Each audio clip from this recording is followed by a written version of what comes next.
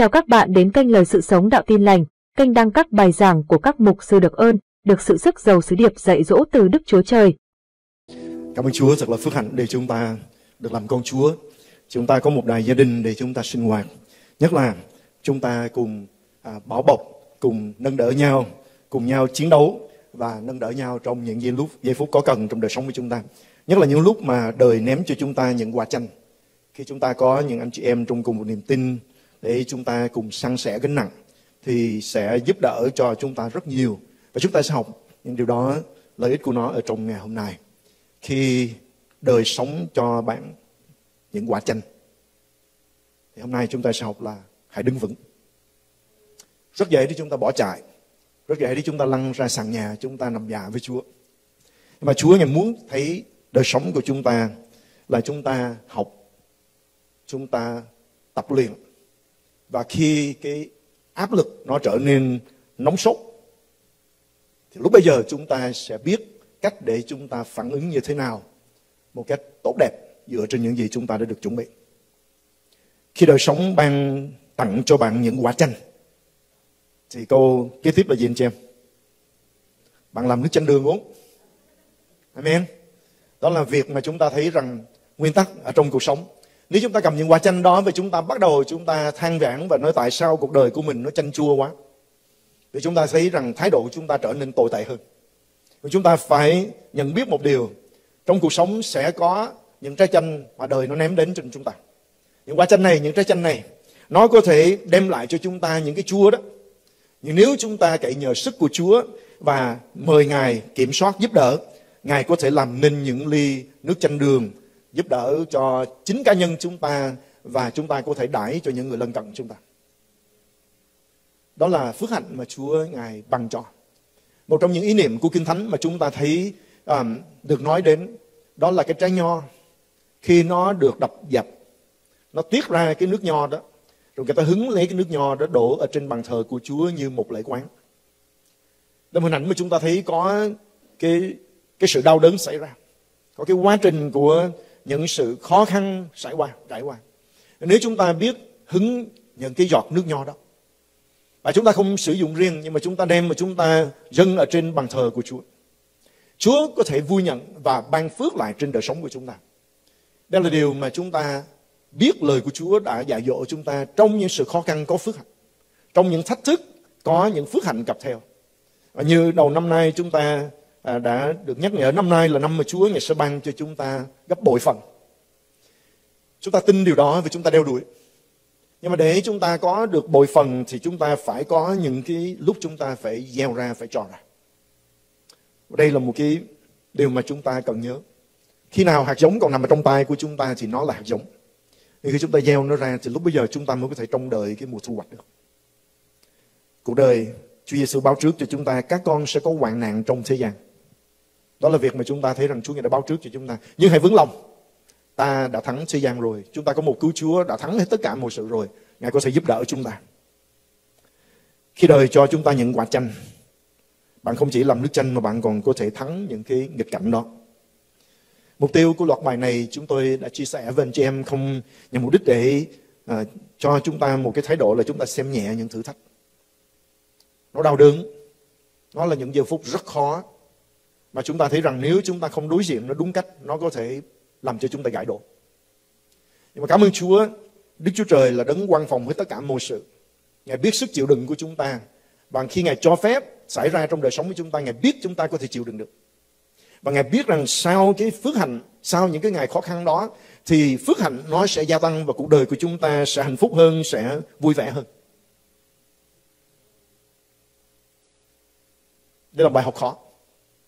Tôi thường dùng hình ảnh thử thách, khó khăn trong đời sống là những thầy khó tính. Nhưng mà những người thầy khó tính này mới dạy chúng ta nên người.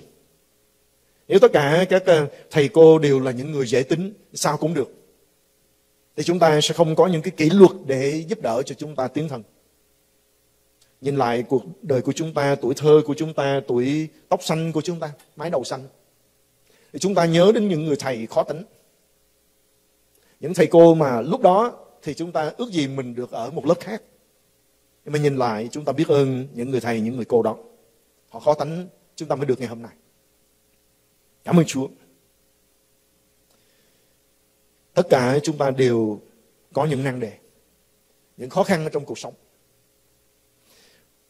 Và chúng ta biết rằng cuộc đời của chúng ta, nhất là ở trong những ngày cuối rốt này, nếu nói rằng đêm đã khuya, ngày hậu đến thì, thì giờ rất khuya rồi anh chị em.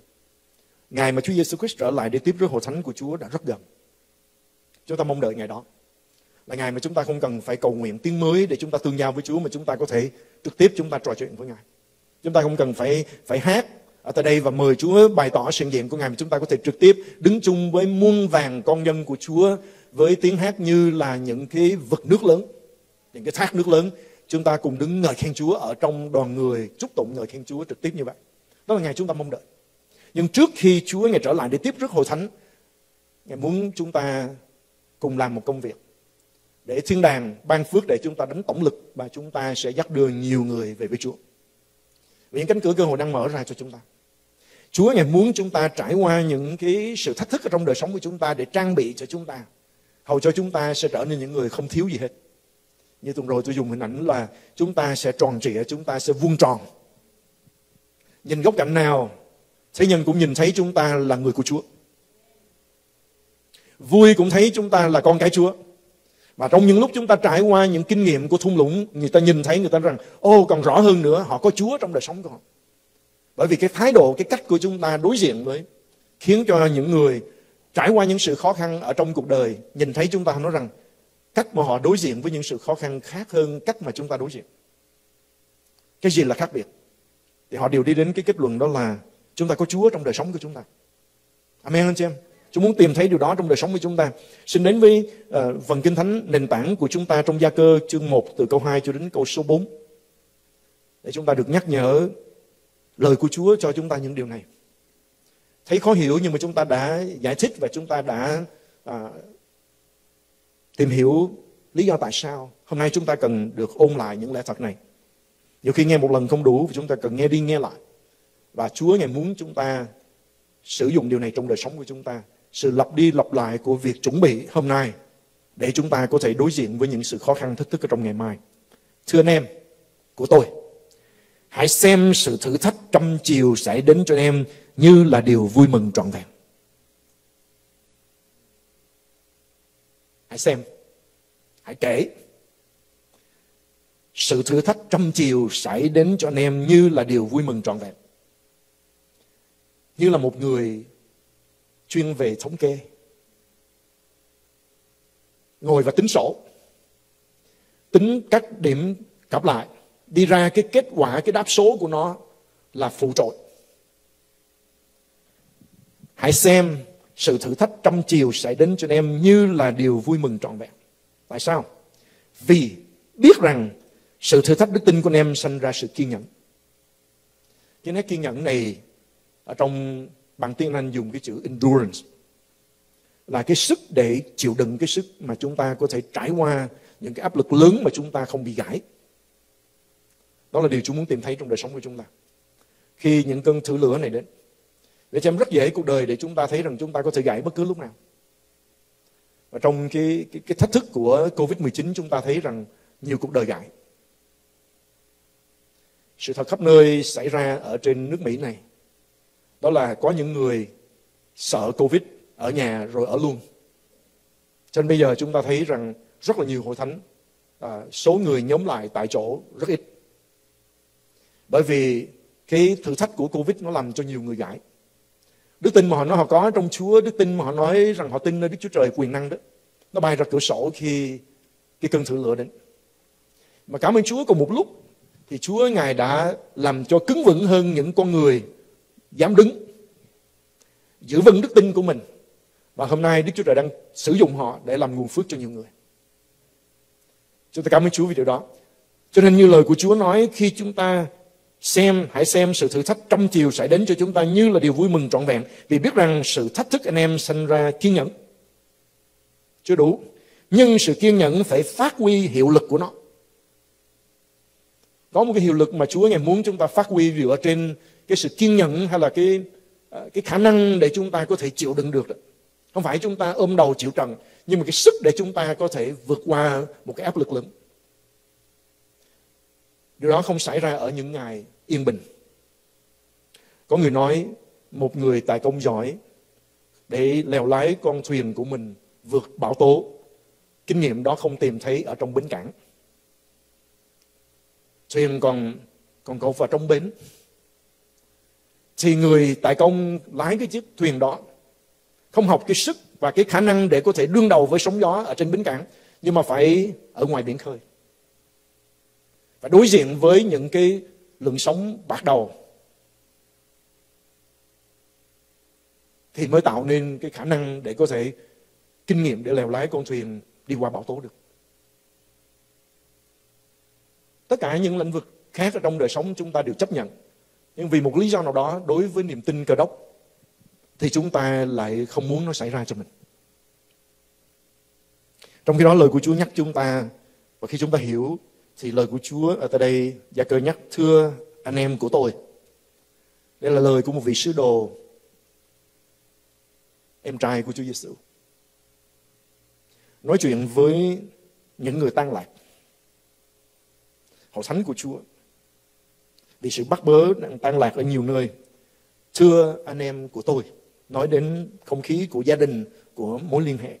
Hãy xem sự thử thách trăm chiều sẽ đến cho anh em như là điều vui mừng trọn vẹn. Chúng ta cần học lúc này, học đi học lại.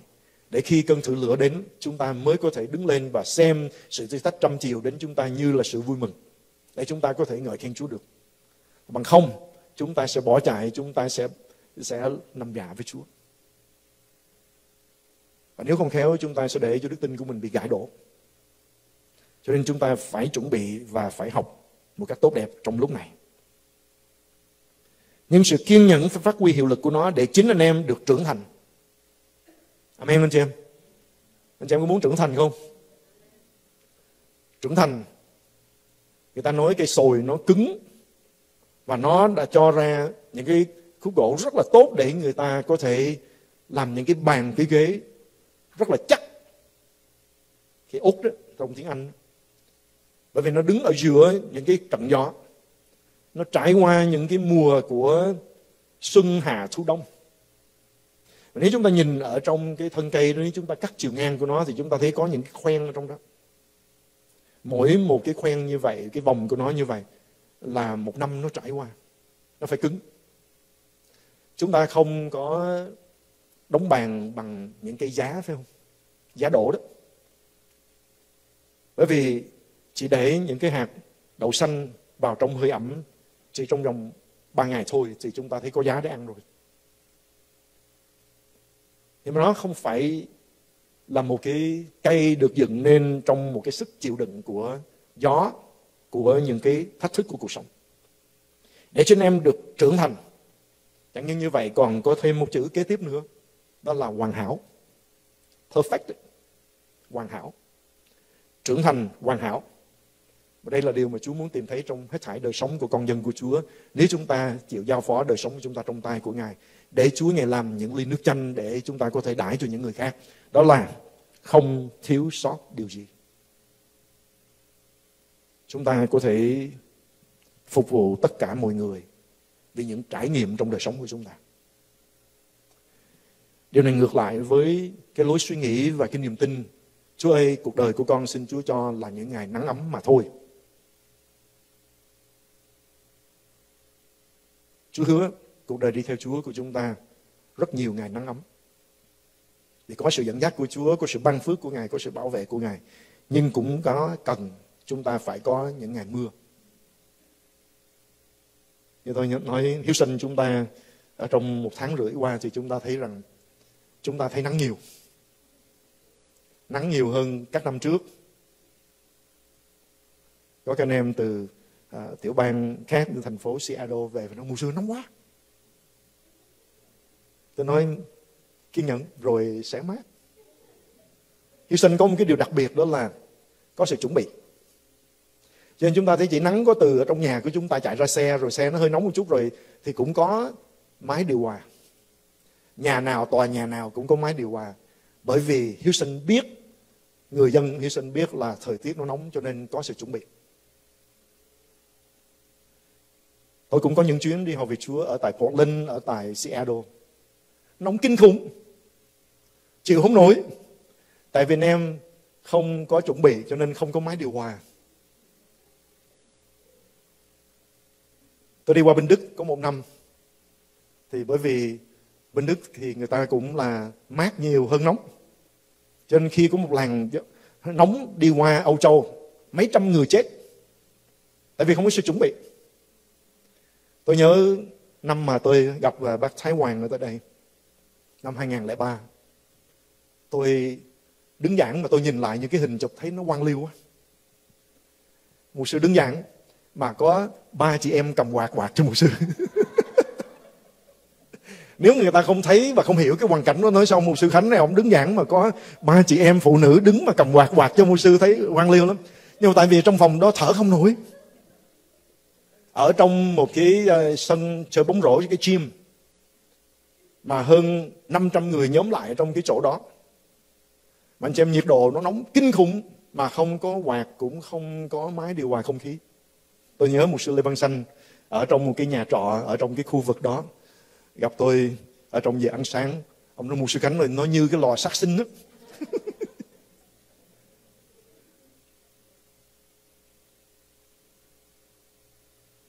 Điều đó dắt chúng ta đến một cái lẽ thật rất là quan trọng.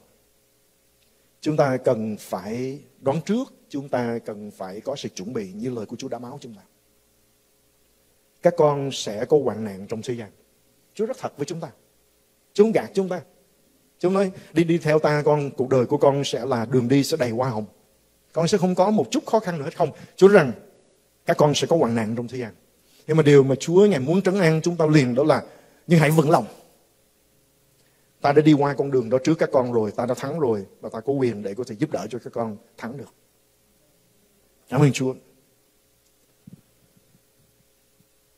câu số 4 ở trong ờ, bản Amplified Bible nói như thế này được phát triển đầy đủ, không có khiếm khuyết, không thiếu thứ gì. Trong những ngày phước hạnh, đầy đủ mọi chuyện tốt đẹp, chúng ta có những lời làm chứng về những phước hạnh mà Chúa ngài ban cho.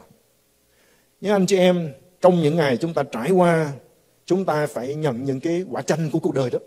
Thì cái lời làm chứng của chúng ta, nó là những cái lời làm chứng mà những người chưa biết Chúa đó, họ có thể cảm thông được, họ có thể hiểu được vì chính họ cũng đã trải qua đời là chúng ta đầy có những nan đề những vấn đề trong đời sống khi chúng ta trải qua trong ơn của Chúa thái độ của chúng ta tốt kể nó như là niềm vui là sự vui mừng trọn vẹn thì chúng ta sẽ phát triển một cách đầy đủ, không khiếm khuyết, không thiếu thứ gì hết. Chúng ta có thể phục vụ những người lân cận của chúng ta. Cảm ơn Chúa. Một sự nhắc nhở thân thiện ở tại đây để chúng ta không dội trách Chúa khi thử thách đến. Đó là thử thách không đến từ Đức Chúa Trời. Anh chị em xây dựng điều đó trong lòng của mình. Nhắc đi nhắc lại luôn điều này. Thử thách không đến từ Đức Chúa Trời. Thử thách hoặc là cám dỗ trong tiếng Hy Lạp đó là chữ perasmos. Đây là một cái từ chứng minh cho những gì bạn tin bằng kinh nghiệm của nghịch cảnh. Bạn nói bằng tin. Nhưng mà cái đức tin của bạn phải được chứng minh được khi trải qua nghịch cảnh. Nếu một người giỏi võ. Mà chưa bao giờ tham chiến một lần nào, thì đó chỉ là cái lời nói rỗng tuếch. Khi nói đến một người có bản lĩnh để có thể vượt qua những sự khó khăn, nhưng mà cuộc đời luôn luôn là một công tử bột, thì điều đó chỉ là một cái tư tưởng mà thôi, chứ không thể chứng minh được. Nhưng anh chị em, thách thức hoặc là cám dỗ chứng minh cho những gì chúng ta tin bằng kinh nghiệm của nghịch cảnh nghịch cảnh là áp lực ở trong cuộc sống của chúng ta, mà kẻ thù qua nghịch cảnh đang muốn tạo ra áp lực để khiến chúng ta từ bỏ những gì chúng ta tin. Đây là điều mà chúng ta cần nhắc nhớ trong đời sống của chúng ta. Chúng ta có một kẻ thù chung, là ma quỷ. Nó rất ghét chúng ta. Nó không muốn chúng ta thành công, nó không muốn chúng ta hạnh phúc bao giờ. Đức Chúa Trời có thể sử dụng những cái sự tấn công của ma quỷ khi Ngài cho phép nó xảy ra. Những chỗ khác lời của Chúa cho chúng ta biết rằng Chúa biết khả năng của từng chúng ta. Có người có thể chịu đựng đến một cái mức độ nào đó. Chúa thành tính Ngài cho chúng ta cái sự thử thách không quá sức chịu đựng của chúng ta. Nhưng khi Chúa báo cho Führer, Chúa rằng Führer sao đang đòi sẵn sải người. Sao đang đòi sẵn sải Führer, Chúa biết điều đó nhưng mà Chúa ngài không nói không, sao đang không có được sẵn sải Führer. Và Chúa Giêsu báo cho ông Führer rồi phần của ngài là, nhưng mà ta cầu nguyện để đức tin của con không kém. Đức Chúa Giêsu biết cái đau đớn mà Führer sẽ trải qua. Cái cảm giác mình phản bội thầy của mình. Và trong những giây phút đó, Chúa, Ngài cầu thai để Führer không kém đức tin. Và Chúa báo trước, khi ngươi được phục hồi, Chúa biết rằng ông sẽ trải qua rồi khi được phục hồi, sẽ kích lệ anh em mình. Chúa có mục đích cho những nghịch cảnh ở trong đời sống của chúng ta. Nhưng Chúa không phải là tác giả. Amen anh chị em? Hãy nhắc nhở chính mình. Chúa không phải là tác giả của những điều xấu xảy ra trong đời sống của chúng ta. Tất cả những điều tốt xảy ra trong đời sống của chúng ta đến từ Chúa. Kẻ trộm chỉ đến để cướp, giết và quỷ diệt. Còn ta đến để chiên ta được sự sống và được sự sống dư dật. Văn chương 10 câu 10. Chúa Giêsu ghi rất rõ, bày tỏ chúng ta rất rõ cái ranh giới đó. Kẻ trộm là ma quỷ là những kẻ đến trước Chúa là những tên trộm cướp leo rào vào răng chiên. Nó chỉ đến để cướp giết và quỷ diệt mà thôi. Nhưng Chúa Ngài đến đó, thì Ngài quan tâm đến những con chiên của Ngài. Ngài quan tâm và Ngài đến để chiên của Ngài được sự sống và được sự sống dư dật. Tất cả những sự tốt lành đều đến từ Chúa. Cảm ơn Chúa. Nhắc nhở điều đó cho chính mình để khi chúng ta ở dưới cái áp lực của thách thức, của thử thách ở trong đời sống, chúng ta không trách Chúa nhưng mà chúng ta kể đó là điều vui mừng vì biết rằng Chúa có chương trình lớn hơn và muốn sử dụng chúng ta trong một mức độ lớn hơn khi Chúa cho phép thử thách này trải qua. Vì Chúa muốn chúng ta trưởng thành, Chúa muốn chúng ta hoàn hảo, Chúa muốn chúng ta đầy đủ không thiếu một chút gì. Amen anh chị em. Satan muốn chúng ta buông bỏ những gì chúng ta tin. Cho nên tìm đủ một cách để nó ném những cái trái chanh đến trong cuộc đời của chúng ta. Thí dụ như sự chữa lành. Chúng ta tin nơi sự chữa lành của Chúa, nhưng mà nó ném bệnh tật đến. Công việc của chúng ta là có tin không khi có những cái triệu chứng mà chúng ta thấy bắt đầu nó xảy ra. Chúng ta có tin như mình đã nói bằng lời miệng của miệng của mình mình tin rằng Chúa đã chữa lành cho mình mình có tin rằng nhân những lần đòn của Ngài chúng ta đã được lành bệnh không hay lúc đó chúng ta dẹp hết rồi rồi rồi rồi, rồi chúng ta bỏ buông bỏ hết tất cả đó là điều mà Satan muốn thấy hoặc trong chức vụ trong sự hầu việc Chúa những hội thánh của Chúa khi chức vụ của chúng ta chúng ta tin nơi những điều Chúa Giêsu ngài đã dạy và báo cho hội thánh Chúa kẻ tin sẽ được các dấu lạ này trong đó có đặt tay trên cây đao, cây đao sẽ được lành. Thì Satan sẽ ném những cái quả tranh thách thức chúng ta bằng cách nó đưa những người đau ốm đến. Là những người chưa tin. Nhưng mà họ được giới thiệu, họ muốn đến để thách thức Đức Chúa Trời của chúng ta. Và lòng của họ không tin cho nên khi họ đến vì chúng ta cầu nguyện, họ không lành. Tôi nhớ có một lần, tôi đưa một sư xem và Michael và một thanh niên khác ở trong hội thánh đi đến để hầu vị Chúa với hội thánh người Mỹ ở tại vùng Pearland nhiều năm về trước. Thì chúng tôi phục vụ và người ta được chữa lành rất là nhiều. Nhưng đến cái cô này, khi chúng tôi đặt tay và công bố sự chữa lành của Chúa trên câu hỏi cô, những người khác hỏi thì có giảm thiểu hay không? Câu trả lời là nó đau nhiều hơn. Ba cha con nhìn theo một chuyện gì lạ như thế này. Thì chúng tôi nói một lần nữa, công bố về sự chữa lành của Chúa trên cô. Hỏi cô gì chứ Cô cảm thấy như thế nào? Cô nói nặng hơn lần nữa. Chúng tôi biết nó có vấn đề rồi. Không cầu nguyện thì nó đau một mức độ nào đó mà càng cầu nguyện nó càng đau hơn. Ma quỷ muốn ném những cái đứa tranh như vậy để chúng tôi xếp càng, xếp cánh, đi về như là những con người thất bại. Nên cảm ơn Chúa có Đức Thánh Linh dẫn dắt chúng tôi cậy nhờ Đức Thánh Linh và tìm ra được gốc tích của vấn đề. Cô này có một cái linh nổi loạn ở trong cô. Khi tôi hỏi mục sư, ông xác nhận liền. Ông nói như vậy đó. Chắc chắn là cổ đã cảm thấy khỏe hơn nhưng mà cậu nói như vậy để thách thức đức tin của mấy ông đó. Anh em có những trái tranh như vậy. Nếu chúng ta không đứng vững thì chúng ta sẽ trao đảo. Bởi vì Satan rất là muốn kéo chúng ta ra khỏi những gì chúng ta tin. Nó muốn dập tắt cái chức vụ, cái sự kêu gọi của Chúa cho đời sống của chúng ta. Chúng ta cần để ý đến những điều đó. ba điều chúng ta cần biết về những sự khó khăn thứ nhất sự cám dỗ thử thách không đến từ Đức Chúa Trời Gia cơ chương 1 câu 13 chép, đang lúc bị cám dỗ hay là thử thách đừng ai nói tôi bị Đức Chúa Trời cám dỗ hay là thử thách vì Đức Chúa Trời không thể nào bị điều ác cám dỗ và chính Ngài cũng không cám dỗ ai. Chữ cám dỗ và thử thách ở trong nguyên tắc là cùng một chữ. Như vậy chúng ta nhớ Đức Chúa Trời không thử thách chúng ta. Ngài có thể cho phép và Ngài thử cái lòng tin của chúng ta trên lời của Ngài chứ Ngài không thử chúng ta bằng những hoạn nạn trong đời sống của chúng ta. Ngài yêu chúng ta vô cùng. Chúa Giêsu đã trả những giá rất đắt để cứu chúng ta ra khỏi những hoạn nạn. Nhưng mà Ngài muốn tìm thấy đức tin của chúng ta dựa trên lời của Ngài. Chúng ta có tin là lời của Chúa là thật và lời của Chúa là lời còn lại đời đời hay không? Một sư Đất Singer trong những lần đến hầu vị Chúa với chúng ta, ông có nhắc một cụm từ mà tôi khuyến khích anh chị em. Khi chúng ta trải qua những sự khó khăn, chúng ta nhớ lại thật này. Nghịch cảnh không thay đổi được lời của Đức Chúa Trời. Nhưng mà lời của Đức Chúa Trời có quyền năng để có thể thay đổi hoàn cảnh của chúng ta. Chúng ta nhớ như vậy. Đừng để cho cái điều đó nó xảy ra trong đời sống của chúng ta khi nghịch cảnh đến chúng ta sửa lời của Chúa hay là chúng ta không còn tin lời của Chúa nữa. Nghịch cảnh không thay đổi được lời của Đức Chúa Trời vì lời của Chúa đứng vững cho đến đời đời. Luôn luôn đúng, luôn luôn hợp thời. Đừng để cho hoàn cảnh định nghĩa lời của Đức Chúa Trời trong đời sống của chúng ta. Nhưng mà lời của Đức Chúa Trời định nghĩa và thay đổi hoàn cảnh của chúng ta. Đây điều rất là quan trọng. Đó là lý do tại sao chúng ta cần phải nắm vững lời của Chúa là như vậy. Cảm ơn Chúa. Điều thứ hai chúng ta cần được nhắc nhở là bạn không phải là người đầu tiên hoặc duy nhất phải đối diện với thử thách. Thường ma quỷ ở trong những cơn thử thách, nó đến và nó rỉ tai chúng ta để làm cho chúng ta nhục chí rằng sao tội nghiệp ngươi qua.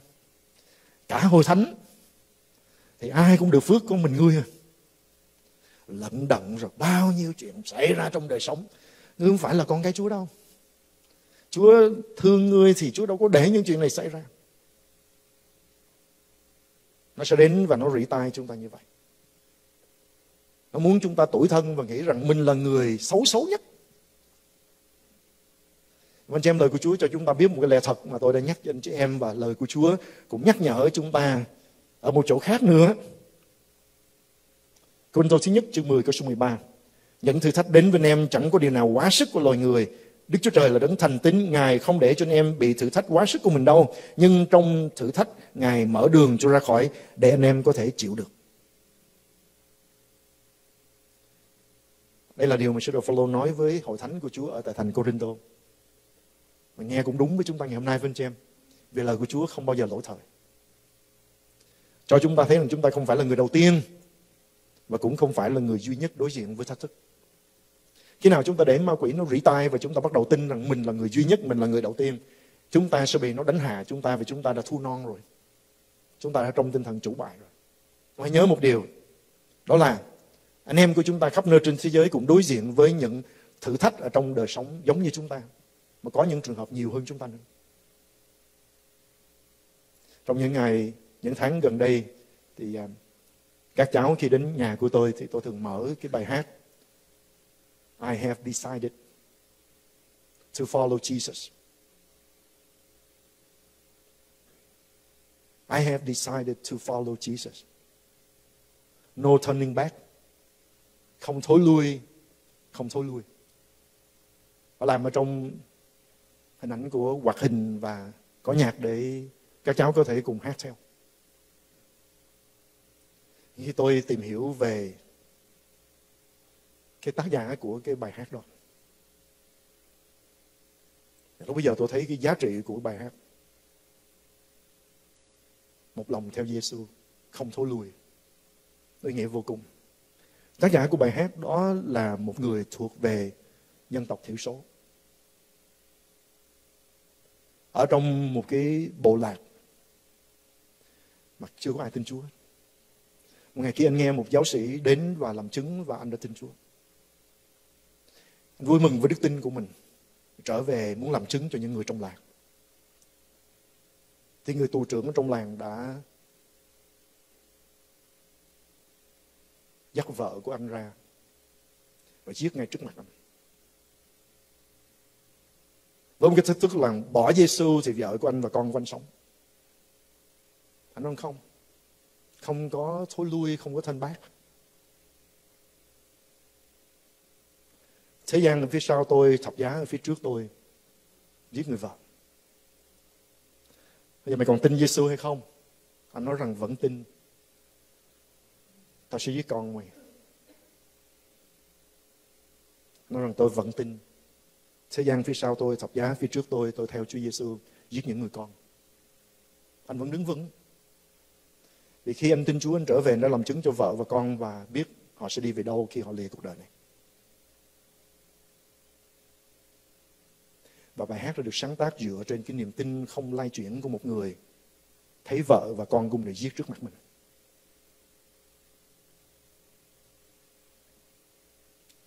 Anh chị em sẽ đến ngày ở trong cuộc sống của chúng ta trên đất này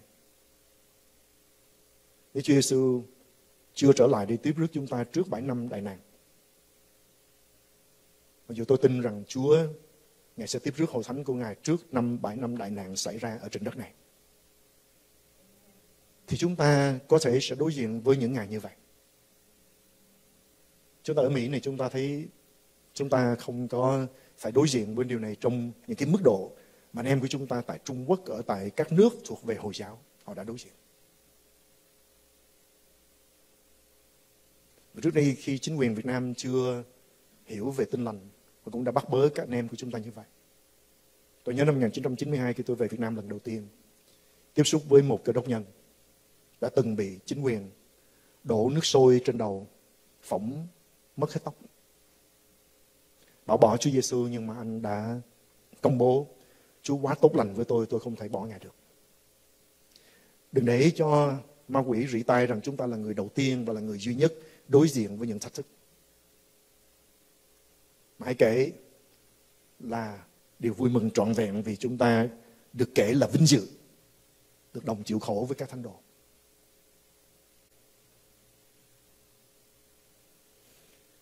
Một nhắc nhở kế tiếp mà nhắc nhở anh chị em ở đây rất là quan trọng. Đừng thử và đối mặt với thử thách một mình.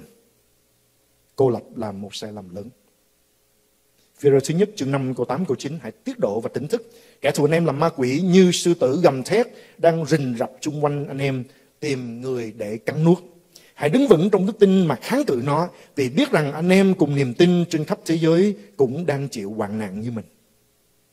Anh em có thấy chữ vì biết rằng anh em cùng niềm tin trên khắp thế giới cũng đang chịu hoạn nạn như mình.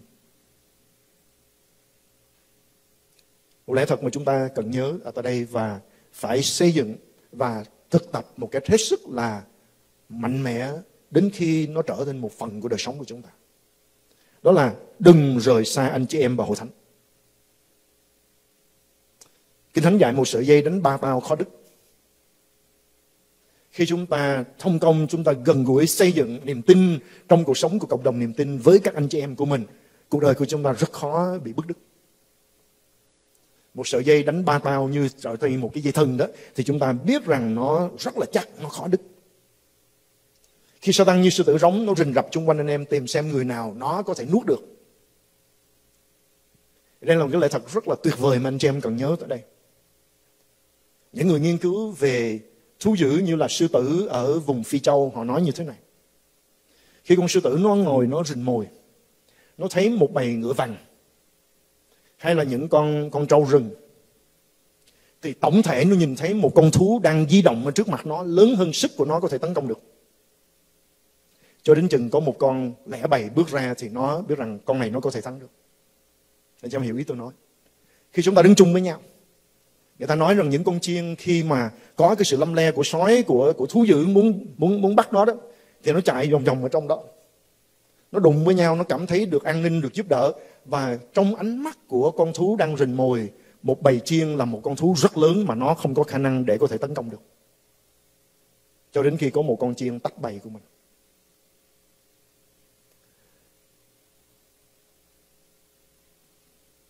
Sở thú ở ngoài trời safari ở tại phi châu người ta cũng cho biết.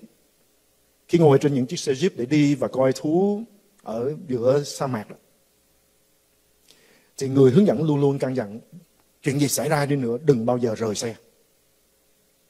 Bởi vì những con sư tử nó đang rình nó đang nhìn đó nó thấy người ngồi trên những chiếc xe jeep đó trong cái cái tổng thể đó nó là một con thú rất là lớn mà con sư tử nó rằng nó không tài nào có thể thắng được cho nên sẽ rất là an toàn khi ngồi ở trên xe.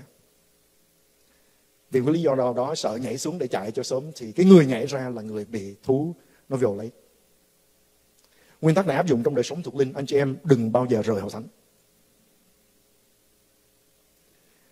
Hội thánh là cái sự bảo vệ mà đức chúa trời ngài đã định. Anh em cùng một niềm tin khi chúng ta đứng chung lại với nhau khiến cho ma quỷ nó đang đi rình đó. Nó coi nó thấy cái đám này khó ăn nha họ cầu nguyện cho nhau, họ quan sát họ họ bảo vệ lẫn nhau. Rồi nó đi tìm những người tách bỏ hội thánh để nó có thể tấn công làm mồi ngon cho nó. Tôi hy vọng rằng không ai ở đây nói rằng một sư nói cái điều đó, tôi không tin. Thử đi rồi biết. Có những người bỏ tách ra hội thánh đi ra ngoài, đời nó đánh tơi tả hết rồi liễu thiểu trở về. Ở thời gian rồi cũng ở trong cái thái độ đó cũng tách rời hội thánh. Thì chúng ta biết rằng trở nên mùi ngon trong ma quỷ vì tổng thể khi chúng ta đứng chung với nhau có một sức mạnh rất là lớn. Chúng ta để ý, ma quỷ như sư tử rống đang rình mò chung quanh anh em. Có nghĩa là nó không thể tấn công chúng ta bất cứ lúc nào, nhưng mà nó rình để xem ai có cái sơ hở.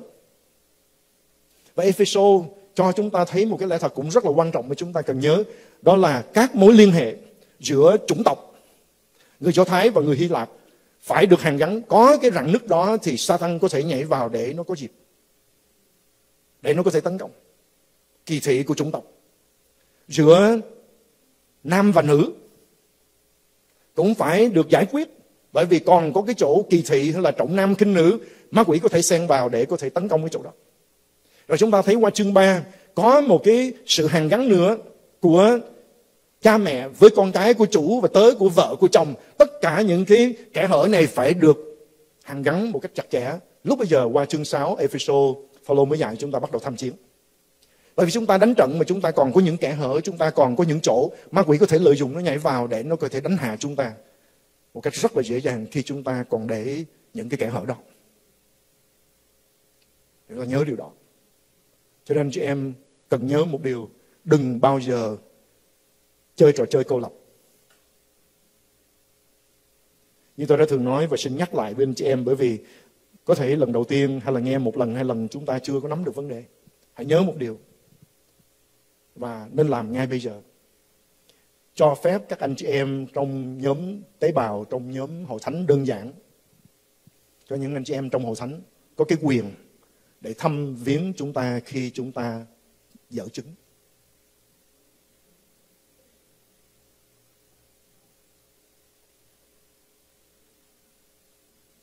Cho phép bây giờ đến lúc đó đó, họ có thể lên tiếng.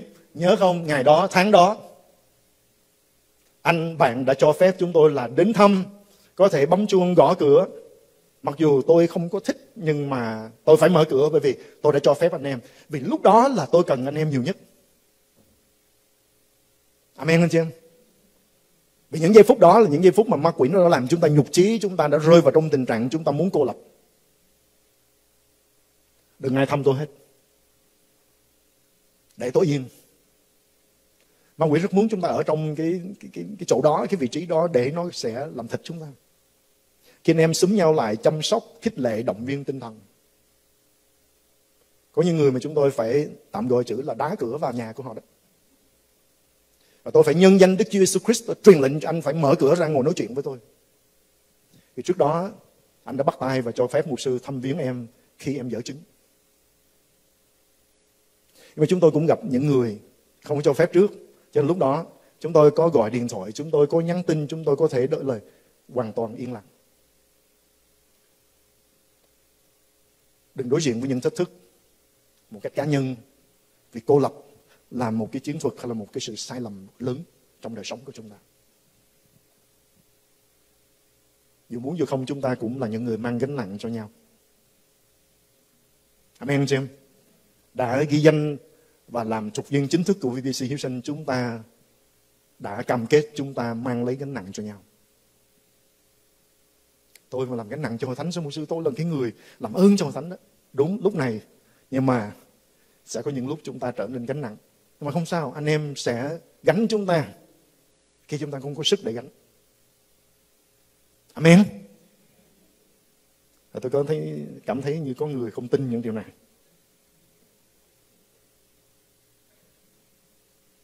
Lời của Chúa không sai đâu anh chị em.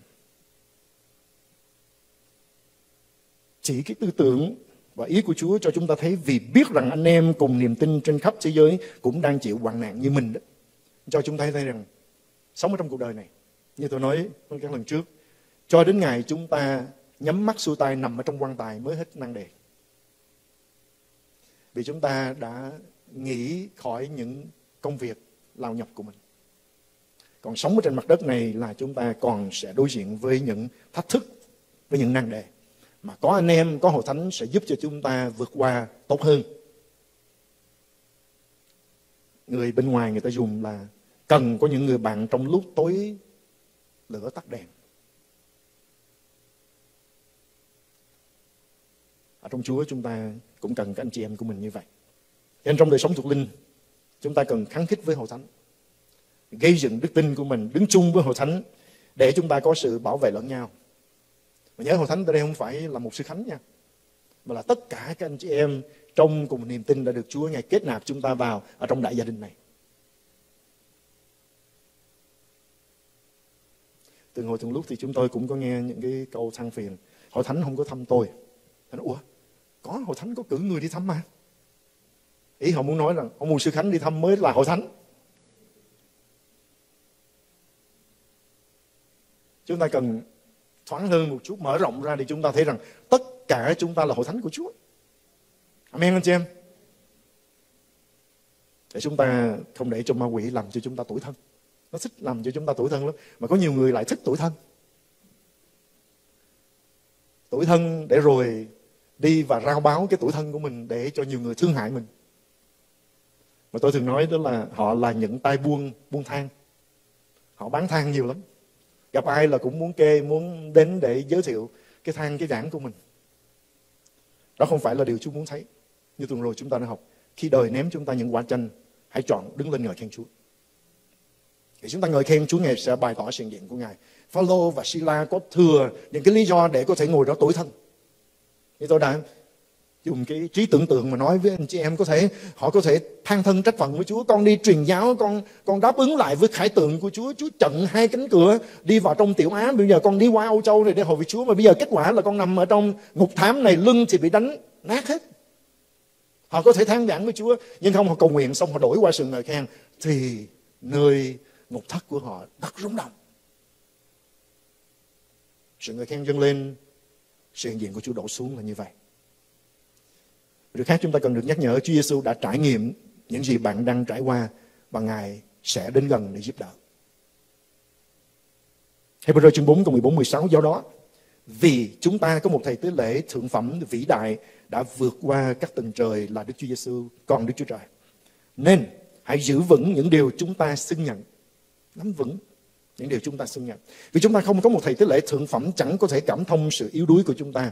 Nhưng có một thầy tế lễ bị cám dỗ đủ mọi cách như chúng ta, song chẳng phạm tội. Rồi, vậy. Vậy có nghĩa là dựa trên những điều ở trên đó, bây giờ chúng ta phải làm gì vậy? Chúng ta hãy vững lòng đến gần ngôi ân điển để nhận được sự thương xót và tìm được ân điển giúp đỡ chúng ta kịp thời. Cảm ơn Chúa. Chúng ta có một cứu Chúa. Ngài trở nên thầy tế lễ thượng phẩm cho chúng ta. Ngài đang cầu thai cho chúng ta. Ngài đã bước đi con đường mà chúng ta đang bước.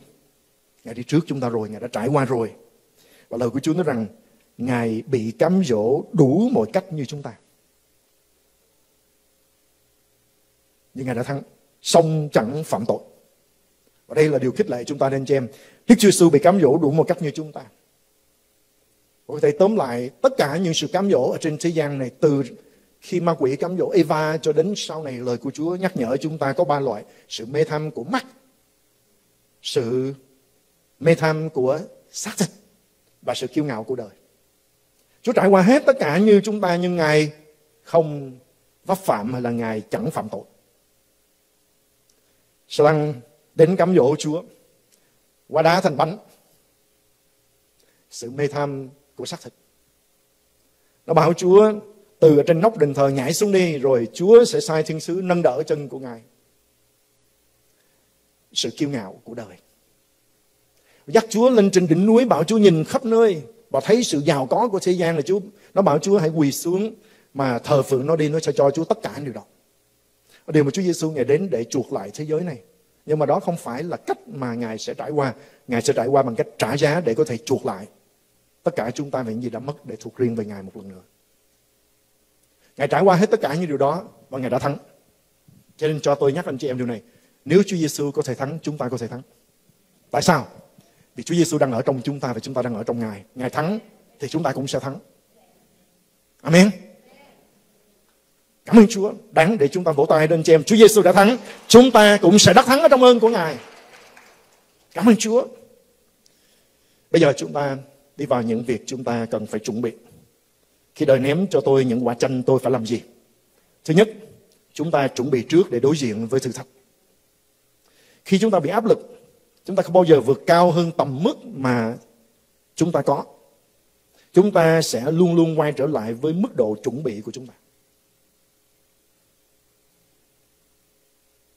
Chúng ta thường có một cái thái độ là chờ đến lúc đó rồi sẽ tính. Và đó là những người liều mạng. Còn những người có sự chuẩn bị để đảm bảo rằng mình luôn luôn kinh nghiệm sự đắc thắng. Chúng ta nhớ biết người biết ta trong trận trong thắng là như vậy. Chúng ta cần phải biết và chúng ta phải chuẩn bị trước. Một lãnh đạo của người nhái của quân đội Hoa Kỳ đã từng nói dưới áp lực bạn sẽ không vượt cao hơn tầm mức của bạn. Nhưng mà bạn bạn tựa vào mức độ đào tạo của bạn. Người nhái của Hoa Kỳ là một cái một cái binh chủng đặc biệt. Họ rất là tài, rất là giỏi. Họ có những cái những cái à, sự sai phái của họ để làm những công việc mà chúng ta thấy rằng rất là họ có thể ngâm trầm mình ở trong nước với một cái cái ống cỏ mà họ có thể ở dưới nước hơn 24 tiếng đồng hồ. Họ có thể di chuyển, họ có thể làm được rất là nhiều việc. Nhưng mà tất cả những điều đó không phải là cái lúc họ được đổ quân xuống để làm công việc đó thì họ mới sử dụng cái khả năng của họ để làm những công việc đó. Nhưng mà họ nương vào cái điều mà họ đã được đào tạo. Trong thời gian áp lực thấp, chúng ta cần chuẩn bị để chúng ta sẽ đối diện với những cái áp lực cao hơn. Amen anh chị em. Một trong những điều mà chúng ta cần phải học biết đó là phải có cái việc làm đi làm lại một cách thành thạo. Để có thể đối diện với những thách thức chúng ta cần phải học tập, học tập, học tập, thực hành trong đời sống của chúng ta. Thì khi chúng ta đối diện với thách thức thì chúng ta sẽ phản ứng nó như là phản ứng tự nhiên của chúng ta. Vì lúc đó chúng ta không có thời giờ để chúng ta đắn đo suy nghĩ nữa. Phải nhận biết. Nhiều năm về trước có một bộ phim Karate Kids. Những người trẻ học karate, học học võ karate đó. Thì câu chuyện có một em tên là Daniel. Gặp một người lớn tuổi, người Nhật ngày khi em bị các bạn ở trong trường rượt đuổi, thì ông này đã giải cứu em một cách rất là đặc biệt. Em mến mộ và xin ông dạy cho mình biết đánh võ. Thì những ngày em đến nhà của ông ông đưa ra cho hai cái vật để đánh bóng sàn nhà. Ông kêu, wax on, wax off em áp dụng điều đó và wax on wax off đánh hết cái sàn nhà của ông. Đổ mồ hôi, mệt mỏi. Em đi về. Em sao trở lại? Ông giao cho một cây cọ với một thùng nước sơn. Đi ra cái hàng rào của ông sơn dầu bóng ở trên hàng rào của ông ông kêu là, press on, press off. Up and down, up and down. Em làm một cách mệt mỏi và cuối cùng cũng sơn hết cái hàng rào của ông rất là bực mình ở trong lòng bởi vì ông này ông lợi dụng mình rồi.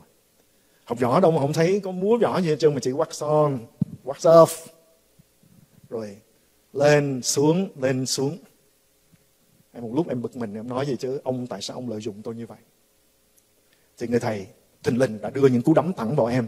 Thì như là phản ứng tự nhiên, em wax off wax on gạt qua bên trái, gạt qua bên phải những cú đấm đó, bởi vì em đã quen rồi và khi ông thầy ông đá thì em đã như là cái cái tay của mình sơn cái hàng rào đó on, off, on, off, on. Có thể gạt chân của thầy được. Lúc bây giờ mới vỡ lẽ ra thầy dạy mình trong cái cách mà mình không hiểu. Như tôi nhớ đi học võ. 6 tháng đầu ông thầy dạy con đi vô trong góc đó con đứng thứ nhất con đứng trung bình tấn cho ta 6 tháng đứng trung bình tấn. Chưa hết sáng bắt đầu từ tháng thứ ba, thứ tư trở đi, còn lại thêm mấy cục tạ ôm ở trên tay nữa. Đầu thì khó chịu. Mình tưởng mình đi học võ mà ông bắt mình đứng ở trong cái góc cứ đứng tấn. Trung bình tấn xong ông thấy khá khá rồi ông cho qua đứng, đinh tấn. Không hiểu, nhưng mà cứ kiên nhẫn. Rồi đến một lúc, khi mà ông thấy mình đã đứng vững rồi, thì lại bắt vẽ một cái tam giác. Con cứ đứng, bước chân ra phía trước, chân sau tách qua một bên, trở lại. Làm như vậy suốt ngày. Tưởng là đi học võ mà sao toàn là mấy cái chuyện gì nó thấy nó không có liên quan gì hết. Rồi một ngày, thầy mới giải thích cho biết bây giờ con thử. Khi con đứng tấn trung bình tấn nhờ các bạn khác đến show con xem con có like hay không. Vì đã tập và đứng, cho nên bắp thịt của chân rất khỏe và có thể đứng tấn rất là vững. Rồi bước theo tâm giác, khi những cú đánh đến thì mình có thể bước, mình tránh, để cái tầm sát thương nó sẽ nhỏ hơn. Và cứ như vậy rồi quen. Rồi khi ngã xuống thì luôn luôn nhìn vào ở trong dây nịch của mình, như con mèo nó té đó. Sau khi hiểu và áp dụng những điều đó thấy rằng chân của mình có thể đá mạnh hơn. Đinh tấn có thể giúp cho cái tấn của mình có thể chuẩn bị để đá một cách mạnh hơn. Và mình có thể tránh né đòn tấn công một cách nhẹ nhàng hơn khi mình biết di chuyển thân thể của mình để tầm sát thương nó nhỏ hơn. Cho đến hai năm về trước, gần hai năm về trước, ăn tối ở nhà của thành với Yvonne, thì cái loại ghế của IKEA nó rất là nhẹ tôi nhớ tôi đứng lên lấy một cái gì đó ở trên bàn ăn, tôi ngồi xuống. Thì cái cái ghế nó bị lùi ra phía sau và tôi té, bật ra phía sau mà không có bị báo trước. Nhưng mà tất cả những gì mà mình đã học hồi nhỏ đó té phải nhìn lưng quần của mình đó, để áp dụng điều đó. Nếu không có cái phản ứng như là phản ứng tự nhiên đó, thì bể đầu về phía sau, có một cái cưa để ở phía sau đó. Ngã xuống mà thẳng ra, đầu không nhìn vào trong lưng quần của mình đó, dây đai của mình đó, như là con mèo té đó thì chắc là bể đầu rồi. Nó nó xây dựng ở trong. Nó như là một phần của đời sống và nó trở nên phản ứng tự nhiên khi lâm trận, khi đối diện. Tôi chia sẻ điều đó để áp dụng đời sống thuộc linh như thế này, anh chị em. Chúng ta phải thực tập. Phải chuẩn bị cho những ngày chúng ta gặp thách thức. Tập đi, tập lại, tập đi, tập lại. Chúa ngài dạy chúng ta trong cái sự luyện tập của đời sống tinh kính, các câu kinh thánh về sự chữa lành, các câu kinh thánh về sự chu cấp của chúa, các câu kinh thánh về à, về sự bảo vệ của chúa và quyền năng của ngài trên đời sống của chúng ta.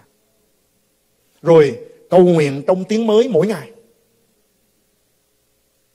Tại sao phải làm những điều đó để chuẩn bị? Những câu kinh thánh về sự chữa lành của Chúa chúng ta phải học nằm lòng của chúng ta vì trong cuộc đời này chúng ta sẽ có những ngày chúng ta đối diện với bệnh tật. Thì những câu như nhân những lần đòn của Ngài mà anh em đã được lành bệnh. Chúng ta cần phải học một cách thuộc lòng để khi bệnh tật đến thì chúng ta nói ô chết rồi nhưng mà chúng ta sẽ đứng lên và chúng ta sẽ nói rằng nhân những lần đòn của Ngài tôi đã được lành bệnh. Amen anh chị em.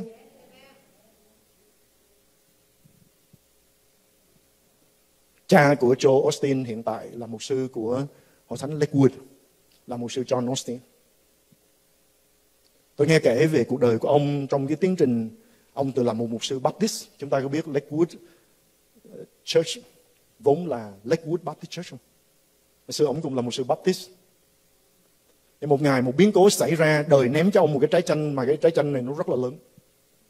Rồi khi khám uh, sức khỏe thường niên thì bác sĩ cho biết rằng bà bị ba cái đốm ung thư rất là nguy hiểm ở trong gan của bà đến giai đoạn thứ ba và nó đang tiến đến giai đoạn cuối ông sẽ sớm mất người vợ của ông nhưng mà là một sư có một cái chiều hướng trở lại với lời của Đức Chúa Trời. Ông đã học lời của Chúa về các sự chữa lành, liên quan đến sự chữa lành. Ông đã làm một công việc, và tôi không khuyến khích anh chị em làm nhưng mà hình dung với tôi. Ông để cuốn kinh thánh xuống dưới sàn nhà. Ông leo lên, ông đứng ở trên cuốn kinh thánh đó. Ông nói với Đức Chúa Trời lại Đức Chúa Trời của con, đây là vợ của con. Nàng là mẹ của các con dại của con. Nàng không thể chết được. Ông kêu bà đến nắm tay của bà và nói rằng, chúng con chọn đứng ở trên lời của ngài. Chúng con chọn đứng vững ở trên lời của ngài, không lai chuyển. Chúng con công bố nhân những lần đòn Đức Chúa Giêsu ngày đã gánh chịu, vợ của con đã được lành. Cho nên chúng con tạ Chúa trước về sự chữa lành sẽ đến, ung thư sẽ không còn tìm thấy ở trong thân thể của vợ của con. Nó không xảy ra tức thì. Ba tháng sau, bác sĩ nói rằng không có một dấu vết của ung thư ở trong thân thể của bà, trong gan của bà nữa. Cảm ơn Chúa năm nay bà 89 tuổi, sống cho đến ngày hôm nay khỏe mạnh. Mặc dù ông đã qua đời nhiều năm về trước, sau một bài giảng, ông giảng xong ông thấy mệt, đưa vào trong bệnh viện, ông được về với Chúa. Như điều ông ước mơ là không một ngày nào nằm ở trong bệnh viện. Mà Chúa cho giảng xong, Chúa tiếp rước đi. Cảm ơn Chúa. Anh chị em, tôi chia sẻ điều đó để cho anh chị em thấy rằng đức tin của chúng ta dựa trên lời của Chúa rất là quan trọng mà nếu chúng ta không học không tập lời của Chúa và biết sử dụng lời của Chúa ở trong những lúc mà áp lực của cuộc sống thấp đó, thì đến lúc áp lực mà nó lên cao chúng ta sẽ gãy cho nên phải có sự chuẩn bị. Lặp đi lặp lại lời của Đức Chúa Trời công bố về lời của Đức Chúa Trời trong đời sống của chúng ta về sự chữa lành về sự chu cấp của Chúa. Khi nghe tin tức nói rằng recession rồi đó thì nhiều người bối rối, nhưng mà chúng ta là những người con cái của Chúa rằng, Đức Chúa Trời tôi sẽ cung cấp mọi sự cần dùng của tôi theo sự giàu có ở cái nơi vinh hiển của Ngài để chúng ta không còn lo sợ. Đấng đã phán với chúng ta, người đời dân ngoại thì sợ không biết mình ăn cái gì, mặc cái gì. Nhưng mà các con là con cái của vương quốc của Đức Chúa Trời. Trước hết hãy tìm kiếm nước Đức Chúa Trời về sự công bình của Ngài. Ngài sẽ cho các con thêm những điều đó nữa. Amen, anh chị em. Thì lúc bây giờ, chúng ta mới có thể hứng và ném cái trái chanh mà đời ném đến trong cuộc sống của chúng ta. Giao cho Chúa để Chúa làm những cái ly nước chanh để chúng ta có thể đãi những người khác nữa. Cảm ơn Chúa. Cầu nguyện trong tiếng mới mỗi ngày. Anh em đã nhận được tiếng mới. Hãy cầu nguyện mỗi ngày để chúng ta gây dựng chính mình. Người nói tiếng lạ gây dựng chính mình ngồi nói tiên tri gây dựng hội thánh của Chúa. Tại sao không gây dựng chính mình? Đụng chuyện nhưng mà tôi yếu đuối, ông sư, tôi yếu đuối. Tại sao không gây dựng chính mình trong những lúc bình thường? Gây dựng chính mình. Gây dựng chính mình khi chúng ta cầu nguyện trong tiếng lạ, khi chúng ta nói tiếng lạ, người nói tiếng lạ gây dựng chính mình. Những người không hiểu thì chê nói rằng, ôi, mình phải là một cái người phải cao thượng hơn, chỉ nghĩ đến hầu thánh của Chúa chứ còn chính mình. Nói tiếng lạ gây dựng chính mình là đồ bỏ, là đồ không có quan trọng. Anh chị em, nếu mình không được gây dựng một cách mạnh mẽ, mình giúp ai được? Và đây là sự thật, anh chị em. Những người không có thì giờ cầu nguyện với Chúa, gây dựng chính mình bằng tiếng lạ, không bao giờ nói tiên tri có gì mà nói? Tại vì người nói tiếng lạ nói những điều quyền nhiệm ở trong Đức Chúa Trời. Cầu nguyện ở trong tiếng mới mỗi ngày. Học thuộc các câu kinh thánh về sự chữa lành. Một bà mục sư khác. Suzette Catwell là một bà mục sư hội thánh của người da đen thuộc về hội Methodist. Và làm chứng với các mục sư ở trong tổ chức của um, hội thánh của Chúa mà các chức vụ đã ngồi lại để muốn thấy thành phố Houston này được biến đổi cho Chúa. Tổ chức gọi là Mission Houston. Và làm chứng lại kinh nghiệm, bà cũng bị ung thư. Khi nghe tin này, ban đầu có hơi chóng váng đó. Mà nhớ đến lời làm chứng của ông mục sư John Austin và lời của Chúa ở trong kinh thánh mà bà đã học được. Bà liền ngồi xuống viết 30 câu kinh thánh liên quan đến sự chữa lành. Bà nói rằng tôi uống một cái viên phi rơ nhất, chương 2 câu số 23 24 là nhân những lặng đòn của Ngài mà anh em đã được lành bệnh. Tôi uống viên đó mỗi ngày. Và bà uống những viên thuốc là lời của Đức Chúa Trời. Bác sĩ cho biết rằng cái ung thư của bà là cái loại ác tính cho nên nó lan rất là nhanh. Và nó có thể lấy mạng của bà chỉ trong vòng 2 tháng là tối đa. Nó mỗi ngày bà uống một viên lời của Chúa từ các phần kinh thánh khác nhau nói về sự chữa lành. Lần khám bệnh kế tiếp đến bác sĩ ngạc nhiên và nói rằng dường như có một cái túi, nó gồm hết tất cả những cái tế bào ung thư là nó làm vô trông như một cái capsule đáng lý ra là bà phải bị giải phẫu và cắt rất là nhiều phần ở trong thân thể của mình mà nó gom lại, chỉ còn cái chỗ đó, bác sĩ chỉ rạch cái chỗ đó, móc cái cái capsule đó ra và ung thư free cho đến ngày hôm nay. Công bố lời của Đức Chúa Trời. Công bố lời của Đức Chúa Trời. Nhưng mà chúng ta phải xây dựng và thực hành lời của Chúa như tôi nói như học về công phu, cung phu đó. Là tập đi tập lại, làm đi làm lại những động tác đó. Người nhái của Hoa Kỳ cũng vậy, tập đi làm đi làm lại cái công việc nó thành thạo đến độ khi mà khói mù ném vào trong cái chỗ đó họ vẫn có thể đi trong bóng tối mà thực hiện công việc như trong lúc họ có đầy đủ ánh sáng. Cái đội người nhái được sai qua Pakistan để mà uh, bắt Bin Laden.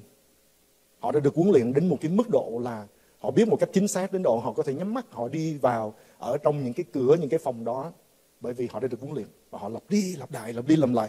Để đến khi họ được thả vào trong cái hoàn cảnh thì họ không còn đứng đó tính toán đắn đo nữa nhưng mà họ biết phải làm gì bởi vì họ đã học và tập một cách thành thạo.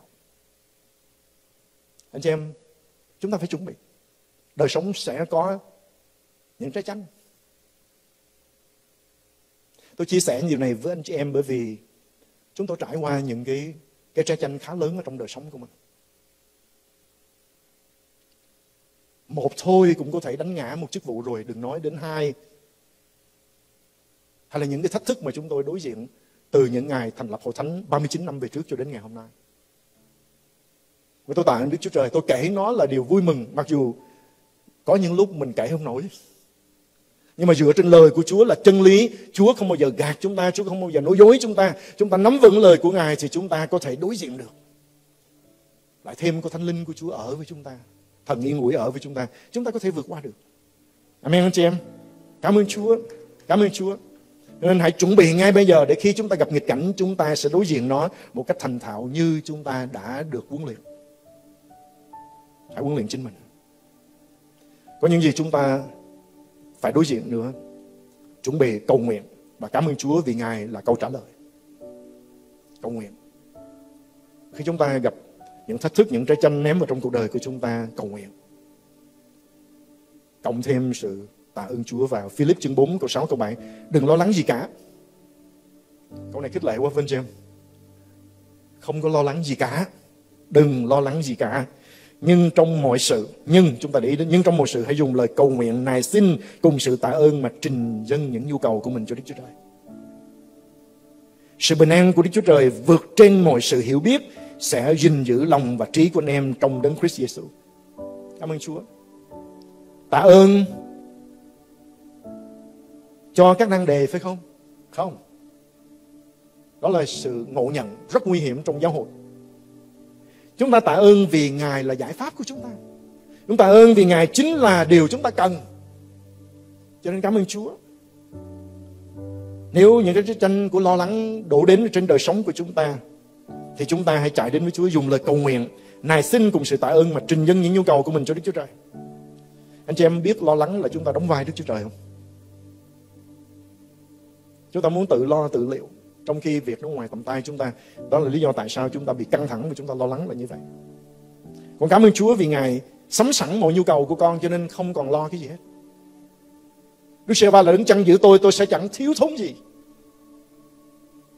Tin và nhắc nhở chính mình điều đó cho nó thật là vững để khi bão táp đến thì chúng ta có thể vững vàng công bố điều đó để nhắc nhở linh hồn mình như David đã làm trong Thi Thiên 103 mà chúng ta đọc buổi sáng hôm nay. Hỡi linh hồn ta, Hãy ngợi khen Đức Chúa chớ quên các ân huệ của Ngài.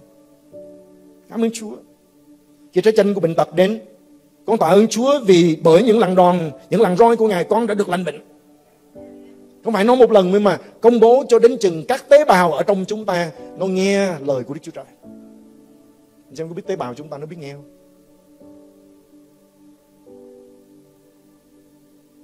Thứ ba, hãy đứng vững trong đức tin dựa trên lời của Chúa. Ephesos chương 6 câu 13 14. Vì vậy hãy trang bị mọi khí giới của Đức Chúa Trời để trong ngày tai họa anh em có thể chống cự lại và khi chiến thắng mọi sự rồi anh em được đứng vững vàng. Anh chị em đi đến chữ đứng vững vàng. Đứng mà đứng tấn á. Chúng ta đứng chụm chụm chân lại người ta xô một cái ngã mà đứng tấn. Mà khi mình xuống tấn rồi đó thì khó để có thể đẩy mình được.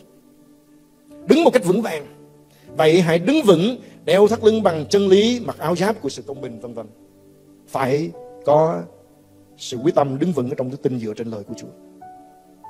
Cảm ơn Chúa.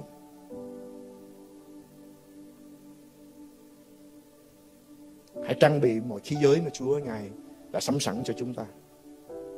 Để trong ngày tai họa chúng ta đi đến chữ để tới đây. Để trong ngày tai họa, anh em có thể chống tự lại. Chúa cho chúng ta những vũ khí. Chúng ta hãy trang bị mọi vũ khí của Đức Chúa Trời. Nhằm mục đích để dành để trong ngày tai, tai họa anh em có thể chống cự lại. Và khi chiến thắng một sự rồi anh em được đứng vững vàng. Vậy hãy đứng vững. Cảm ơn Chúa. Lời của Chúa truyền lệnh cho chúng ta hãy đứng vững. Và đó là đề tài của ngày hôm nay. Anh chị em của tôi ơi, hãy đứng vững. Muốn đứng vững hãy trang bị mọi khí giới của Đức Chúa Trời. Để trong ngày tai họa, tai họa là một phần của đời sống. Chúng ta có thể đứng vững khi chúng ta được trang bị đức tin của chúng ta dựa trên lời của Chúa. Cảm ơn Chúa. Và điều này mà tôi cũng trang bị trước cho anh chị em để chúng ta có thể biết mà chúng ta đối diện. Có nhiều phút chúng ta phải yên lặng mà đứng vững. Vì sẽ có những người có ý tốt. Nhưng mà đến, họ nói một cách không có duyên đó. Họ có thể đánh ngã đức tin của chúng ta. Biết người ta bệnh. Ôi, sao bữa nay nhìn thấy xanh quá vậy? Người ta tin và công bố nơi sự chữa lành của Chúa, nhưng mà đến nói một cái câu như vậy, muốn phá vỡ đức tin của người ta. Mặc dù họ không ý như vậy. Đó là một trong những điều mà chúng tôi khi đi học ở trường Kinh Thánh, người ta dạy khi đi thăm bệnh nhân ở trong bệnh viện. Thứ nhất là không bao giờ ngồi ở trên cái giường của người bệnh. Tại vì dây nhợ trên đó tùm lum, mình ngồi có thể là nghẹt ống người ta chết. Mình ngồi có thể nghiêng một bên nó làm cho bao nhiêu ống nó có thể bị xúc ra là nhiều vấn đề lắm. Đừng bao giờ, đó là cái cái tối cần được nhớ đó là đừng bao giờ ngồi trên giường của bệnh nhân ở trong bệnh viện. Cái thứ hai là đừng bao giờ nói cái diện mạo của họ lúc đó. Người ta bệnh mà. Vô mình có lòng tốt, ủa sao, sao thấy xanh quá vậy? Người ta đang cảm thấy khỏe khỏe nghe mình nói một câu, cái họ muốn buông tay luôn. Có những lúc chúng ta phải đứng. Có những người họ sẽ nói những cái câu, ôi nghe nói như thế này, ô tại sao như vậy, tại sao như vậy, cho ổng như vậy, cho bả như vậy. Chúng ta trong giây phút đó đứng vững. Nếu cần chúng ta đứng tấn dựa trên lời của Đức Chúa Trời. Nhân những lần đòn của Ngài, tôi đã được lành mình Tất cả những sự xảy ra trong đời sống xấu đến từ Satan, tốt đến từ cha sáng láng của chúng ta trên trời mà xuống. Đứng vững, đừng trả lời với họ. Vì lúc đó chúng ta có thể trả lời không đúng. Đức Chúa Trời sẽ đãi chúng ta theo những điều Ngài nghe miệng chúng ta nói. Hãy công bố lời của Đức Chúa Trời, công bố sự chữa lành, công bố sự tiếp trợ, công bố phước hạnh, công bố sự bình an từ nơi Chúa nhà ban cho. Amen anh chị em. Thứ ba, hãy trao hay là lăng mọi điều lo lắng cho Ngài. Trao. Khi chúng ta lo lắng thì chúng ta đóng vai Đức Chúa Trời. Chúng ta tự lo, tự liệu. Nhưng mà lời của Chúa bảo chúng ta trong phi rơ thứ nhất chương 5 câu 6 câu 7 Vậy hãy hạ mình dưới cánh tay quyền năng của Đức Chúa Trời để đến thời điểm thích hợp Ngài, thích hợp Ngài sẽ nhấc anh em lên. Hãy trao mọi điều lo lắng mình cho Ngài Vì Ngài luôn chăm sóc anh em. Người không trao lo lắng cho Chúa là người kiêu ngạo. Chứ không có hay ho gì hết. Là kiêu ngạo. Và Chúa thì Ngài đẩy những người kiêu ngạo ở xa Ngài Nhưng mà Ngài đến gần với những người khiêm nhường. Vậy hãy hạ mình dưới cánh tay quyền năng của Đức Chúa Trời để đến thời điểm thích hợp Ngài sẽ nhấc anh em lên. Hãy trao mọi điều lo lắng mình cho Ngài. Trao tại đây là chuyển bằng cánh tay của chúng ta, trao qua cho Chúa. Nhưng mà Kinh Thánh có một chữ khác ở trong, nguyên tác ở trong tiếng Anh đó là lăn đến cho Chúa. Thi Thiên 37 câu số 5 Hãy phó thác đường lối của mình cho Đức giê va và nhờ cậy nơi Ngài thì chính Ngài sẽ làm thành điều ấy. Một câu gần giống hệt như vậy. Trong ngôn chương 16 câu số 3 Hãy phó thác công việc của con cho Đức giê va thì những lo toan của con sẽ được thành tựu. Phó thác ở đây. Ở trong nguyên tác, trong tiếng Himalay Đó là chữ gao ô Đó là cái hành động lăn như chúng ta lăn một hòn đá lớn Mà chúng ta không nhấc nó lên nổi, Mà chúng ta phải dùng cái cái cái cái sự khôn ngoan của mình để chúng ta có thể lăn nó chứ chúng ta không cắt nó lên nổi. Xin Chúa Ngài giúp đỡ để chúng ta nhận biết điều đó. Anh chị em, có những cái trái chanh nhỏ nhỏ chúng ta trao cho Chúa. Nhưng mà có những cái trái chanh nó rất là lớn như một tảng đá lớn. Mà chúng ta phải làm cái công việc. Anh chị em, có những lúc chúng ta phải di chuyển một cái vật rất là nặng. Chúng ta đẩy và chúng ta nói dùng hết sức của mình. Đức Chúa Trời, Ngài hiểu cái ngôn ngữ đó của chúng ta. Ngài lấy cái tiếng thở than không thể nói ra được mà Ngài cầu thai cho chúng ta. Có những gánh nặng quá lớn, anh chị em. Trong những ngày gần đây, như anh chị em hiểu và thấy, cái nặng quá lớn. Và tôi phải tìm một cái góc không muốn cho vợ con thấy. Và tôi phải than thở với Đức Chúa Trời như vậy. Ôi! Và cảm ơn Chúa. Sau đó thì Thánh Linh của Chúa bắt đầu. Ngài lấy tiếng thở than không thể nói ra được. Ngài bắt đầu cầu thai và chúng tôi bắt đầu bước vào trong tiếng mới giao cho Chúa. Nặng quá tự mình nâng nó lên không nổi. Mà dùng cái đòn bẩy để có thể đẩy. Nhờ sức của Đức Thánh Linh để có thể di chuyển cái gánh nặng này trong đời sống của mình. Có Chúa trong đời sống. Dù trái chanh hay là cái thử thách nó lớn cỡ nào, chúng ta cũng có thể vượt qua được. Amen anh chị em. Cảm ơn Chúa, cảm ơn Chúa đáng chúng ta nhận dâng cho Chúa một tràng pháo tay của sự cảm tạ vì có Chúa ở trong đời sống của chúng ta. Với năm anh chị em đừng bao giờ bỏ cuộc. Có ai đó có mặt ở đây trong ngày hôm nay, bạn có thể có một ý định. Đó là hôm nay đi nhà thờ thử một lần nữa. Vì gánh nặng mà anh chị em đối diện ở trong những ngày qua quá lớn. Hãy để sứ điệp này ngày hôm nay Chúa nghe lên tiếng với anh chị em rằng đừng bỏ cuộc con. Cái giờ cất nhắc, cái sự giải cứu của con đang rất gần rồi. Hãy trao một điều lo lắng cho Ngài. Vì Ngài hãy chăm sóc chúng ta. Những cái nặng mà bạn đang mang gánh ở trong đời sống của mình, hãy giao cho Chúa. Đừng bỏ cuộc. Vì Chúa Ngài sẽ giúp đỡ. Galati chương 6 câu số 9 chớ mệt mỏi khi làm việc thiện. Vì nếu chúng ta không nản lòng thì đến mùa chúng ta sẽ gặt. Côn Tô thứ nhất chương 9 câu số 24 Anh em không biết rằng trong cuộc chạy đua ở thao trường Tất cả đều chạy Nhưng chỉ có một người đoạt giải sao Vậy hãy chạy thế nào để anh em có thể đoạt giải Vững vàng Đứng vững Dù những người xung quanh có nói như thế nào, Vì chúng ta biết xung quanh của chúng ta có những người thừa cơ hội đó Họ chờ lâu lắm rồi, Bây giờ có cớ để họ đập mình Hãy kể những người đó là những người thiếu sự hiểu biết và chúng ta đến với những người trưởng thành thuộc linh và để họ nâng đỡ chúng ta. Và trên hết hãy đến với Chúa. Để Ngài sẽ là đấng thêm sức cho chúng ta. Vì chính Ngài đã gọi chúng ta hỡi những kẻ mệt mỏi và nặng gánh lo âu. Hãy đến cùng ta, ta sẽ cho các ngươi được yên nghỉ. Đó là lời mời của Chúa. Hãy đến với Chúa, hãy nhờ cậy Ngài. Khó, nhưng cứ bò đến với Chúa. Đi không nổi cứ trường, cứ bò đến dù mình phải đi ở trên tay và chân của mình như Daniel cũng bò đến với Chúa, đến gần ơn phước để nhận được ơn trong thời giờ có cần dùng. Và khi chúng ta rời chạm được đến với Ngài, sức thiên của Ngài sẽ thêm lên cho chúng ta. Amen anh chị em. Xin Chúa Ngài dùng những điều này để giúp đỡ cho chúng ta. Ai đang trải qua được lời của Chúa nhắc nhở để chúng ta trải qua một cách tốt đẹp hơn. Ai chưa trải qua, hãy chuẩn bị ngay trong thời giờ này. Vì hoạn nạn là điều mà Chúa Giêsu báo trước cho chúng ta các con sẽ có hoạn nạn trong thế gian. Chúng ta không được miễn trừ. Chúng ta còn sống trong thế gian này. Cũng giống như khi mưa đổ xuống. Thì tất cả người dữ cũng như người lành đều sẽ gặp mưa. Nhưng có sự khác biệt của những người có Chúa. Chúa là cây dù của chúng ta. Chúng ta đi trong mưa mà không bị ướt. Chính ở trong những giây phút mà Chúa Ngài an ủi dẫn dắt chúng ta đi qua được thì Chúa Ngài sẽ biến những cái trái chanh, những thách thức của cuộc đời trở nên những ly những ly nước chanh mà chúng ta có thể chia sẻ, làm chứng lại để những người cùng là những khách bộ hành trên đất họ sẽ tìm biết được Chúa của chúng ta và sống tiếp nhận Ngài làm cứu Chúa của đời sống. Đối với các bạn hữu của tôi, những người nghe sứ điệp này có thể ở trên YouTube hay là trong một phương tiện nào đó cho tôi nói với bạn điều này.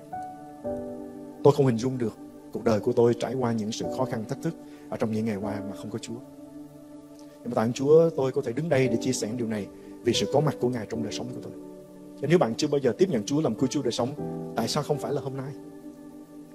Có Chúa trong cuộc đời của chúng ta, Ngài thêm sức, Ngài ban ơn, Ngài hướng dẫn, Ngài đi cùng thì sẽ đem lại cho chúng ta sự nâng đỡ rất nhiều để chúng ta có thể thắng được những trái chanh, những cái chanh chua trong cuộc đời của mình. Nếu bạn chưa bao giờ tiếp nhận Chúa làm cứu Chúa đời sống, hãy mở lòng ra tiếp nhận Chúa ngay trong thời gian này. Hãy đến với Chúa và thưa với Chúa rằng, Chúa ơi con đã loại Chúa ra khỏi đời sống của mình. Con đã phạm tội cùng Chúa. Con đã có những lỗi lầm ở trong đời sống, những tội lỗi trong đời sống. Nay con ăn năn, xin Chúa tha thứ. Con trở về, xin Chúa nhận con như đứa con quan đàn trở về, được tiếp nhận. Con xin tiếp nhận sự cứu rỗi của Chúa, nhận sự tha thứ của Ngài. Xin Chúa bước vào đời sống của con làm Chúa làm chủ. Ghi tên con trong sách sự sống của Chúa. Để thiên đàng là nhà tương lai của con, Đức Chúa Trời trở nên cha của con và hội thánh là gia đình của con. Rồi quý vị thành tính kính cầu nguyện điều đó trong danh Đức Chúa Giêsu, Chúa sẽ thực hiện cho quý vị. Đối với các anh chị em của tôi ở tại đây trong ngày hôm nay, nếu trong những ngày qua anh chị em sống xa Chúa, anh chị em đã để cho ma quỷ đã nhồi nhét ở trong tư tưởng của anh chị em bằng những cái hoạn nạn khó khăn, dịch lệ vân vân là do Đức Chúa Trời ngài đổ xuống trên đời sống của chúng ta để ừ, thử nghiệm chúng ta để đào luyện chúng ta. Không anh chị em nó không phải đến từ Chúa. Chúa cho phép nó mới xảy ra thì Chúa ngài có ý định cho đời sống của chúng ta. Hãy quay trở lại với Chúa. Nếu sống xa Chúa tại sao không quay về. Hôm nay là ngày mà chúng ta có thể củng cố đức tin của mình, để chúng ta có thể đối diện với những thách thức ở trong những ngày sắp đến. Đó là điều mà anh chị em muốn Chúa làm cho mình, thì có thể trong thời gian này, đứng lên tại chỗ của mình và chúng ta có thể cầu nguyện. Xin Chúa ngài phục hồi xin Chúa ngài ban phước xin Chúa ngài thêm sức cho anh chị em ở trong ơn của Chúa cha kính yêu chúng con cảm ơn ngài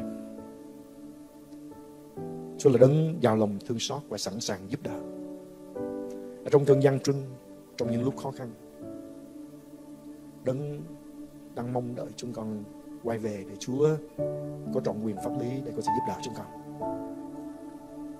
Chúng con phó nhân đời sống chúng con cách tươi mới trong ơn của Ngài. Xin cha dẫn đưa ban phước. Và thêm ơn soi sáng để chúng con biết chuẩn bị đời sống của mình trong những ngày áp lực thật. Để chúng con sẵn sàng cho những ngày khi áp lực lên cao. Chúng con có thể đứng vững. Chúng con ngợi khen Chúa.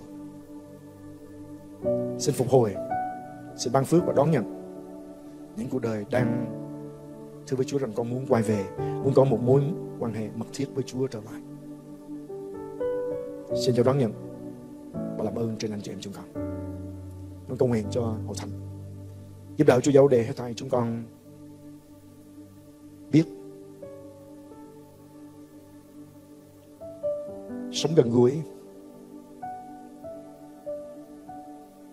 và có tinh thần mang lấy gánh nặng cho nhau. Sẵn sàng nâng đỡ khích lệ anh chị em của mình để chúng con có thể cùng nhau kinh nghiệm sự đặt thắng ở trong ơn của Chúa. Chúng con nhận biết luôn cả ngay trong thời giờ này, kẻ thù chung của chúng con là ma quỷ như sự tự rống đang đi rình mò xung quanh chúng con. Xem ai nó có thể nuốt được. Xin Chúa giúp đỡ cho chúng con cứ xích gần đến với các anh chị em của mình. Ở trong hội thánh đơn giản, trong những nhóm nhỏ, để chúng con cùng học, cùng kết chặt tình thân ở trong Chúa, cũng biết để cầu nguyện cho nhau, nâng đỡ nhau trong cuộc sống hàng ngày và trong bước đường đi theo Chúa để chúng con sẽ có một chuỗi của những sự đắc thắng và những lời làm chứng cho thế nhân đang nhìn chúng con, đang quan sát đời sống của chúng con biết rằng có Chúa trong đời sống của chúng con là phước hạnh dường nào. Cho con cảm ơn Ngài. Ngài khen Chúa. Và chúng con thành kính cầu nguyện. Trong danh Chúa Giêsu Christ. Amen. Chúa ban phước trên quý bà anh chị em ở trong ơn của Ngài.